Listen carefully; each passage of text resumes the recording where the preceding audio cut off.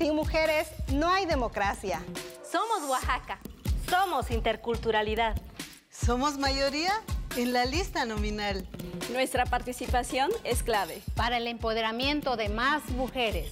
El 5 de junio, las mujeres indígenas y afromexicanas vamos a votar. Participa, lo haces por ti.